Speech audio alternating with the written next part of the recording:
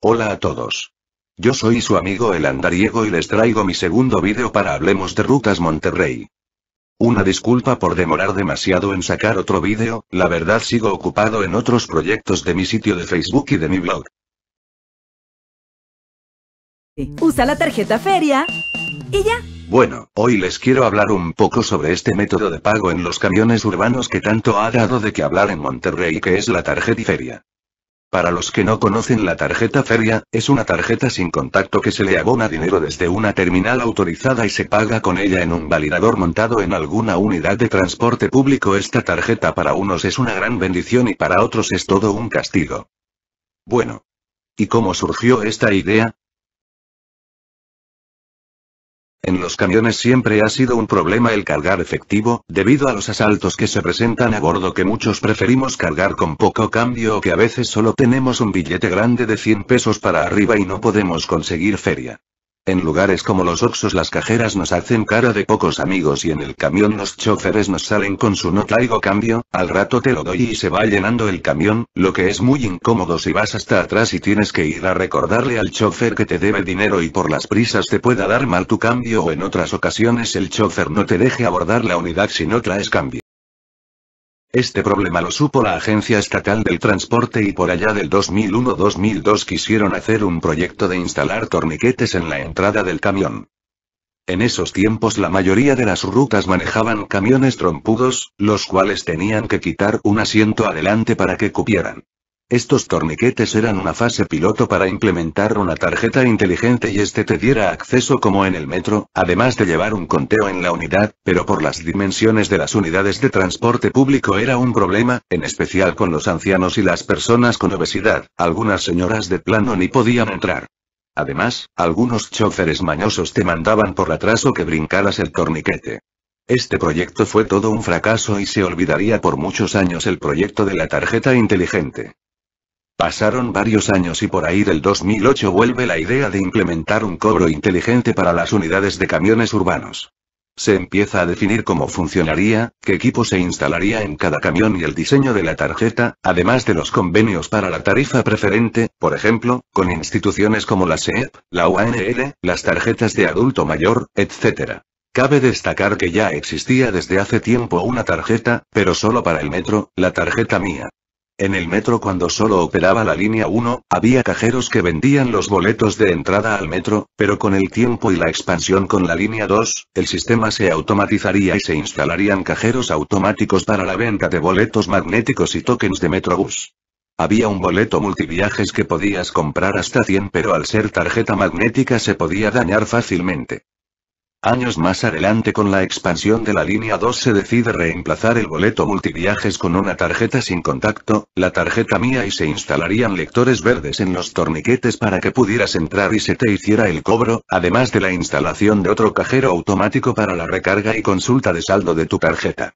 Para usar estos cajeros debes de llevar el importe exacto porque no dan cambio. Aceptan billetes de hasta 500 pesos y la ventaja es que entre más recargues, más viajes extra se te abonan. Un día de primavera de 2009 nace la empresa Enlaces Inteligentes, la cual se encarga de la gestión de la tarjeta feria y después de tanto tiempo pasado en equipar unidades, capacitar a las empresas de rutas, equipar oficinas y retrasos, la tarjeta feria nace en julio de 2010. A partir de ese entonces la tarjeta es adquirida en cualquier OXXO y oficina de enlaces inteligentes. Esta tarjeta en un principio se ganó el repudio de algunas empresas y operadores, algunas con justa razón debido a que hay que pagar la comisión a la empresa Enlaces Inteligentes y estas rutas no estaban en condiciones de dar un buen servicio y algunos operadores lacras ya no podían hacer tranzas fácilmente al ponerse barras de conteo especiales, aunque algunos llegaron a tapar con cinta o llevaban a otras personas a taparlas cada que subía un usuario y ponían fundas a los validadores para que el usuario creyera que aún no funcionaba la tarjeta. Otras personas se encargaban de soltar rumores falsos que la empresa robaba el saldo. Aunque muchos usuarios adquirían la tarjeta, otros siguen hasta hoy pagando en efectivo a pesar de que la tarifa para ellos es más alta o que se pierden del descuento por transbordo entre tres unidades. La empresa, conforme pasaban los años, hacía algunos beneficios para los usuarios. 1. Personalizar tu tarjeta. Esto es para usuarios de tarifa ordinaria, porque los estudiantes ya tenían su propia tarjeta que era su credencial escolar con un chip sin contacto y los adultos mayores y discapacitados podían tener la suya con un trámite. Los usuarios que pagan tarifa ordinaria se presentaban a cualquier oficina de enlaces inteligentes con su CURP y pagando una pequeña tarifa se daban de alta en el sistema, para que, en caso de robo o extravío de su tarjeta pudieran obtener otra nueva recuperando su saldo. 2. Convenios con empresas. Para incentivar el uso de la tarjeta, la empresa mostraba algunos convenios con empresas para que el usuario mostrara su tarjeta y obtuviera descuentos.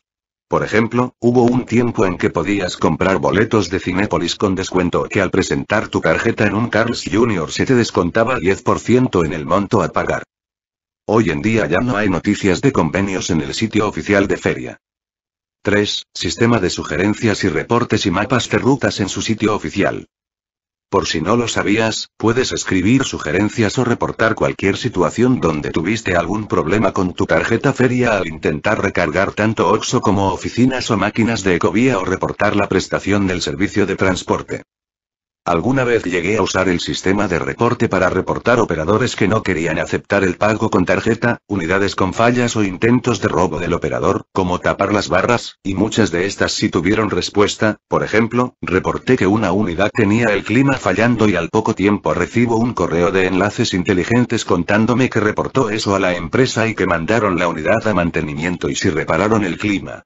En otra ocasión reporté a un chofer que tapaba las barras con una cinta y la respuesta fue que notificaron a la empresa, revisaron el sistema de conteo y encontraron que sí hubo fraude y que el operador fue castigado. Eso fue por ahí del 2011 y no tengo idea si ahorita esté activo el sistema para sugerencias y reportes. En este caso la empresa actúa como intermediario entre el usuario y la empresa, sea Oxxo, Metro, Ecovía o el prestador de servicio de transporte. Ahí les encargo mis amigos pudieran probar este sistema y me cuentan qué tal les fue. Tal vez en algunas empresas no se garantiza que se resuelva el problema que estás reportando, debido a que algunas empresas de rutas urbanas les vale como esté operando la ruta. Sobre sus mapas, hubo un tiempo que tenían información sobre rutas, parecido a ruta directa, en su sitio web, pero no le prestaron mucha atención y lo dejaron morir. 4. Máquinas expendedoras de tarjetas y de consulta y recarga. Esto surgió en 2014 al iniciar las actividades de la ecovía. Debido al tamaño limitado de la estación, se crearon algunas máquinas para recargar tu tarjeta, checar tu saldo o comprar una nueva. Esta tarjeta tiene su diseño especial de la ecovía y se pueden usar en cualquier ruta, siempre y cuando seas usuario que paga tarifa ordinaria. También podías personalizar tu tarjeta para obtener el rescate de su saldo en caso de pérdida o robo. 5. Descuento en transbordos por tiempo definido. Este beneficio nace luego de que se constató que hay usuarios que toman hasta tres rutas diferentes en su trayecto y gastan mucho dinero en el viaje. En febrero 2013 para incentivar el uso de la tarjeta y en apoyo a estos usuarios de dos rutas, se hace un descuento especial del 50% en tu unidad de diferente ruta en un plazo no mayor a 90 minutos. Poco tiempo después se extiende a una tercera ruta distinta gratis y el tiempo se alarga de dos horas desde el primer pago.